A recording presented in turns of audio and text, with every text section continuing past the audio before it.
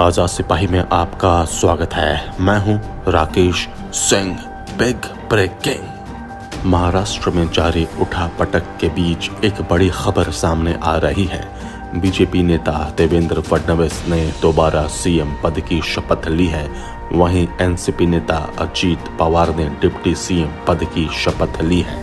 सुबह करीब आठ बजे राजभवन में राज्यपाल भगत सिंह कोश्यारी ने दोनों नेताओं को पद एवं गोपनीयता की शपथ दिलाई।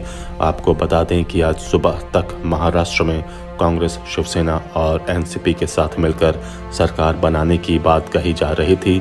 तीनों दल उद्धव ठाकरे को सीएम बनाने पर सहमत भी हो गए थे और चर्चा थी कि आज औपचारिक तौर पर वे राज्यपाल से मिलकर दावा पेश करते लेकिन इसी बीच ये बड़ा उलटफेर हो गया।